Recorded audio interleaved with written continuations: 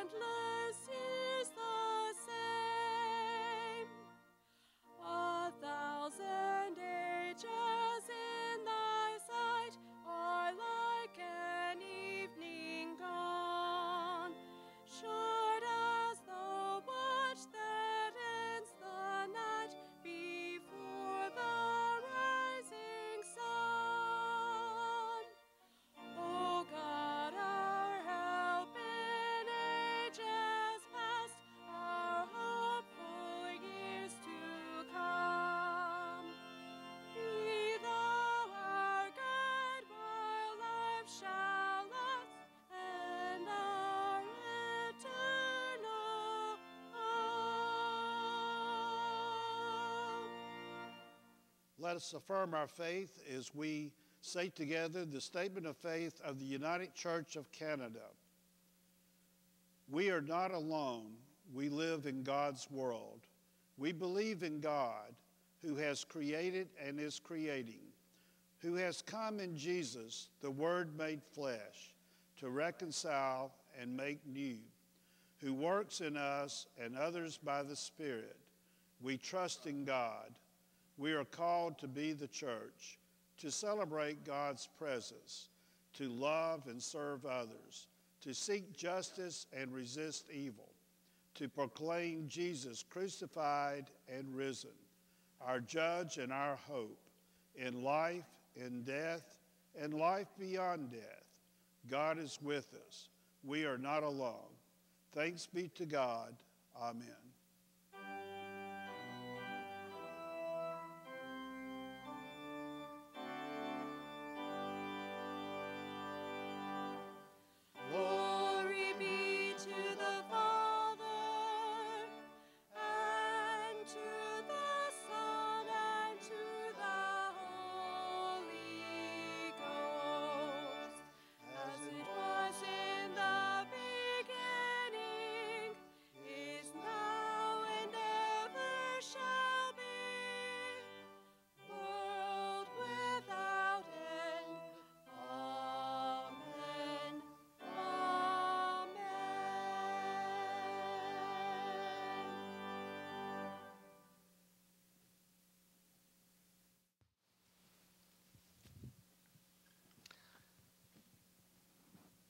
Hello, beautiful people, and you are a beautiful people.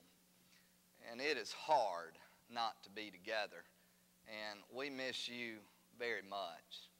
So at this time, we join our hearts together and we lift up the concerns of one another, and we invite you during this prayer time just to list your concerns, to list your prayers in that comment section uh, below. As we go to the Lord in prayer this morning, this is also our offering time. Understanding that an offering is not just our gifts, an offering is our prayers of concern, our prayers of joy, uh, ideas we have to be the body of Christ in this time when we're not allowed to be at the church. How can we be the church? So we invite you to join us in this time of offering, to join us as we lift our prayers to God, as we join together in a time of silent prayer. Shall we pray?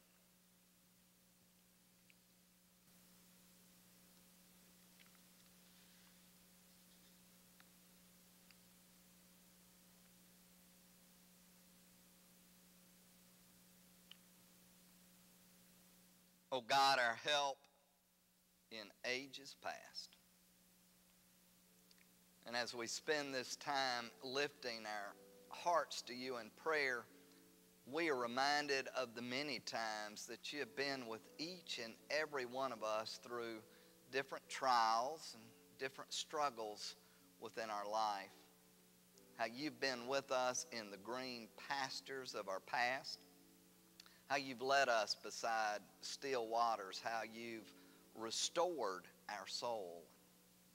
We are reminded of the many times that you have walked us through those valleys of the glens of gloom, those valleys of shadows, and how you have protected us, and you have guided us, and you have led us. We are reminded we are reminded of those times in which we have stood in the presence of our enemies. We have stood in the presence of our fears. And oh God, you have set a feast before us a feast of peace, a feast of mercy, a feast of grace. Oh God, we come to you this morning. We pray for all these that we've lifted in our hearts. We pray for these that we find in the comments below. We lift to you each and every business owner here at Pleasant Hill and in our community. We lift to you those who are sick, those who are ill.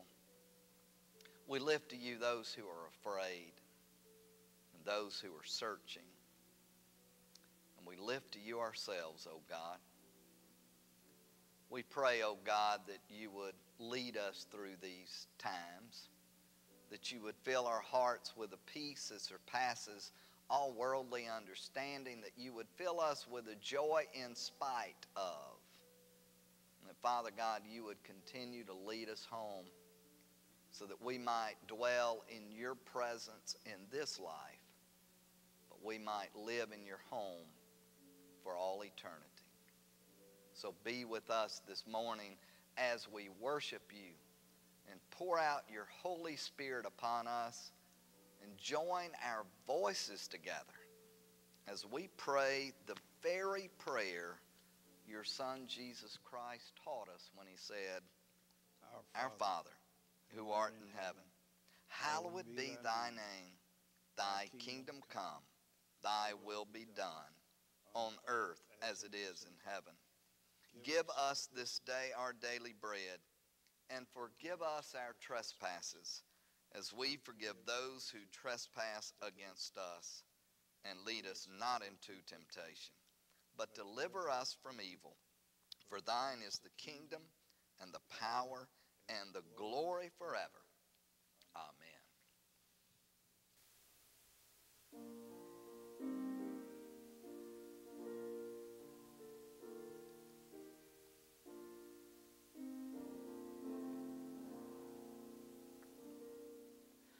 To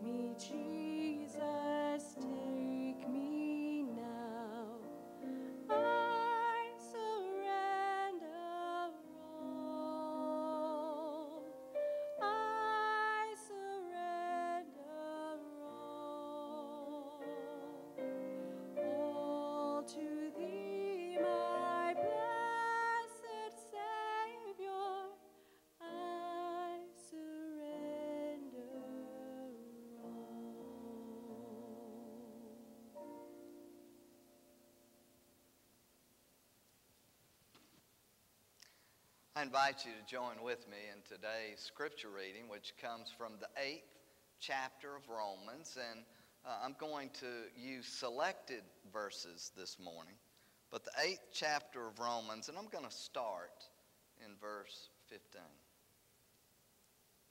For you did not receive a spirit that makes you a slave to fear. But you received the spirit of sonship. And by him we cry, Abba, Father. The Spirit himself testifies with our spirit that we are God's children. Now, if we are God's children, then we are heirs, heirs of God, and co heirs with Christ if indeed we share in his sufferings in order that we may also share in his glory. I consider that our present sufferings are not worth comparing with the glory that will be revealed in us. For in hope we were saved. But hope that is seen is no hope at all. Who hopes for what he already has? But if we hope for what we do not yet have, we wait for it patiently. And we know that in all things, God works for the good of those who love him, who have been called according to his purpose. What then shall we say in response to this? If God is for us, who can be against us? He who did not spare his own son, but gave him up for us all, how will he not also, along with him, graciously give us all things? Who shall separate us from the love of Christ? Shall trouble, or hardship, or persecution, or famine, or nakedness, or danger, or sword? No. In all these things, we are more than conquerors through him who loved us. For I am convinced that neither death, nor life, nor angels, nor demons, nor the present, nor the future, nor any powers, neither height, nor depth, nor anything else in all creation will be able to separate us from the love of God that is in Christ Jesus our Lord. Well, Father God, in the next few moments, we cry out to you. And we ask that through your Spirit, this would become the living Word. And that this Word might feed our souls, and that this Word might transform us into the very likeness of Jesus Christ. For it's in His name we pray. Amen. With the exception of September 11, 2001, I cannot remember a time in my life when the world has been more gripped by fear, when the world has been any more afraid than it is right now. Now, for some of you, I recognize that you have lived through times like this before. Many of you are children of the Depression. Many of you have lived through times of war, world wars. Many of you have faced epidemics. Many of you have faced pandemics. And you understand this fear better than any of us. Fear is an amazing power. Fear has the ability to transform us into people we really don't want to be.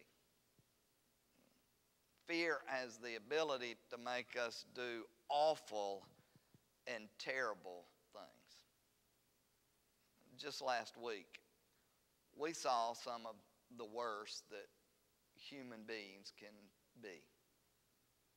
It's fear that causes us to hoard things like toilet paper, hoard hand sanitizer, to hoard food, to hoard non perishable items to a degree that we know is ridiculous, that we'll uh, never need. It's fear that uh, forces us, that moves us to do uh, such terrible things without any regard for one who might need those things more than ourselves or someone who might not be able to have those things at all. It's fear. It's a fear of scarcity. There will not be enough. And yet, Paul reminds us. Paul reminds us that as children of God, we are not a people who are to be ruled by fear. We are a people who are to be ruled by hope.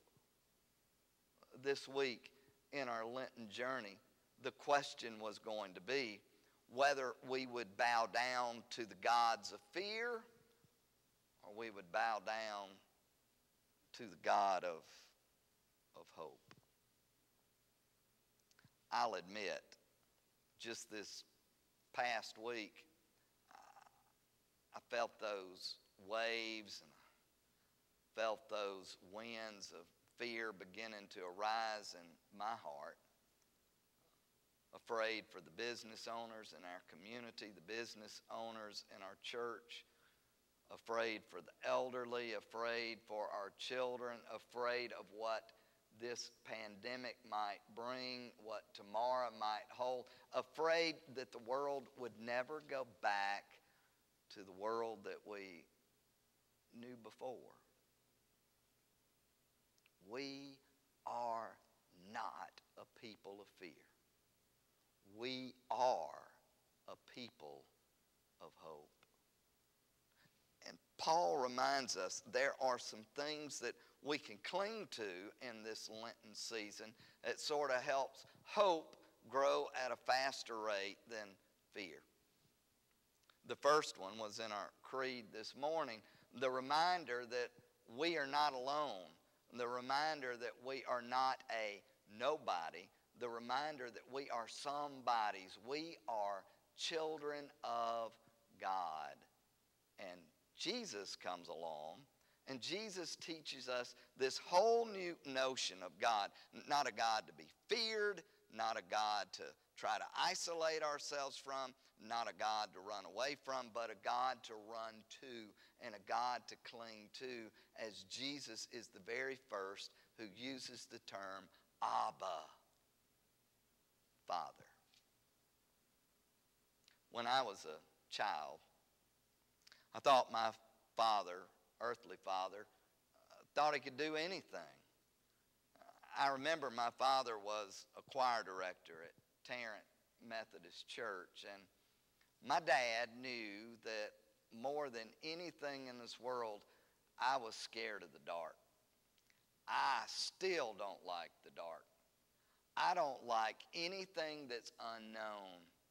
You want to make me afraid, stick an unknown and throw me in a dark room to marinate.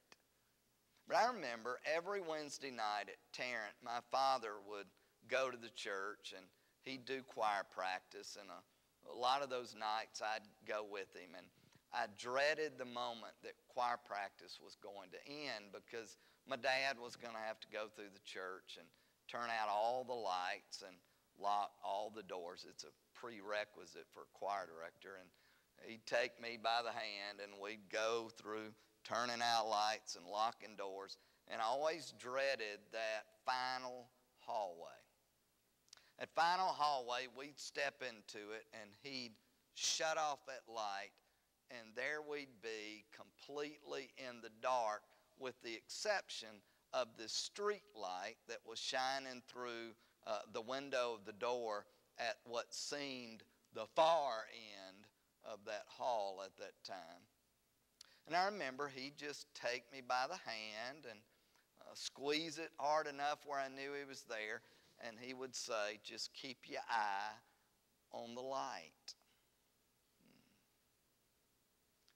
Hmm. There are a lot of times in life when I'm scared, when I feel as though I'm in the dark, I just sort of imagine grabbing my father's hand and listening to those words, just focus on the light.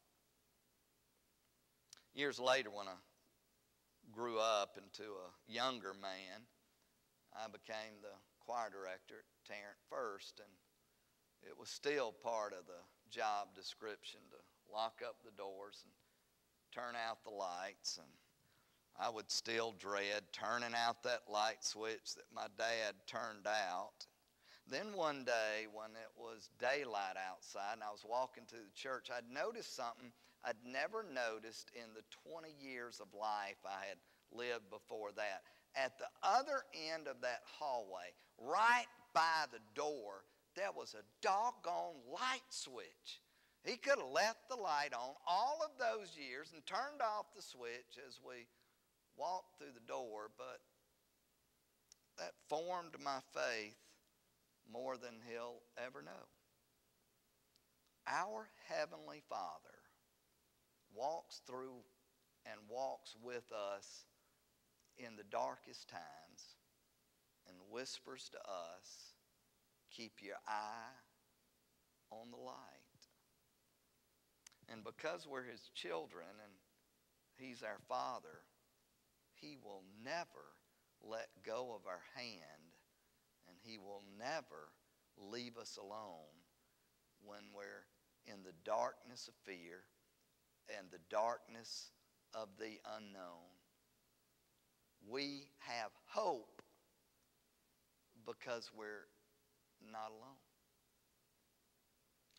We have hope, Paul says, because we know there is more to our life, there is more to our being than the present circumstance that we find ourselves in. As horrible as it is, there is a better day coming. And Paul proclaims, I consider that the present sufferings are not worthy of comparing with the glory that will be revealed to us. Now, Paul's talking about not just a brighter day and a better day. Paul's talking about a brighter world, a better world, a brand new world. As children of God, we have hope because we know that this world is not all there is, and the day is coming, and the time is coming when all that brings pain when all that brings fear, when all that brings suffering, when all that brings death will be no more. It will be a new heaven and a new earth. But in the meantime, But in the meantime, God continues to put those brighter days ahead of us, those green pastures ahead of us. What we experience now can't even begin to compare with the awesome glory that God has in store for us in the future. As children of God, we have hope. We have hope because we know that as long as we are in the hands of our Heavenly Father, as long as it is our Heavenly Father who leads us and guides us and directs us, then all things, all things work for the good of those who love God. As hard as it is to see it in the here and now, God will bring something good in the days ahead. As children of God, we have hope because of the best thing that Paul has to say. Paul reminds us that this love of God, that this love of Jesus Christ, there is absolutely nothing that can ever separate us from the love of God, that can ever separate us from God again. He says, uh, Who will separate us? What will separate us? Shall trouble or hardship or persecution or famine or nakedness or danger or the sword? No. In all these things, we are more than conquerors through him who loved us. For I am convinced that neither death, nor life, nor angels, nor demons, nor things present, nor the future, nor any powers, neither height, nor depth, nor anything else in all creation will be able to separate us from the love of God that is in Christ Jesus our Lord. I have no idea what tomorrow will hold. I have no idea when this pandemic will end. I have no idea when the panic that we see will subside. I have no idea what financial systems will do. I have no idea what will happen to our community businesses. I have no idea what will happen to Pleasant Hill United Methodist Church. I have no idea. The only thing I know is this I and you are children of God. And we will not, we have never been, and we never will be alone.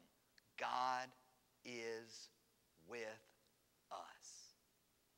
And I know that nothing, nothing will ever separate us from the love of God. In the name of the Father, the Son, and the Holy Spirit. Amen. Our hymn of dedication this morning is Great is Thy Faithfulness.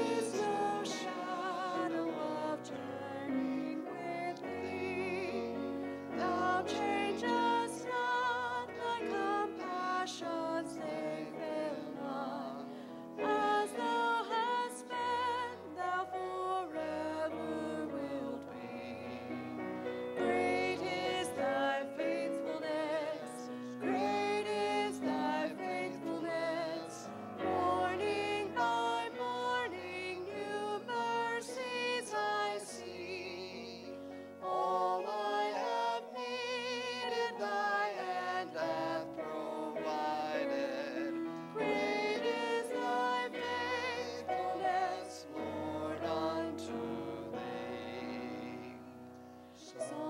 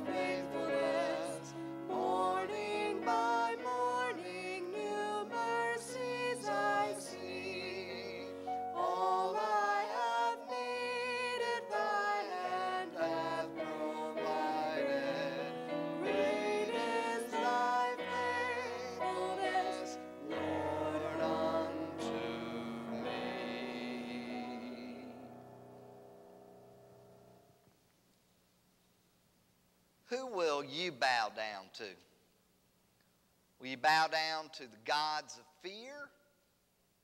Or will you bow down to the one true living God of hope? Go in peace.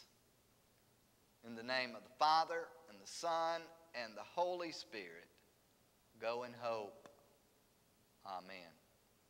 We hope that in the days ahead that you will join us each day for our daily devotions. If we can help you in any way, don't hesitate to call.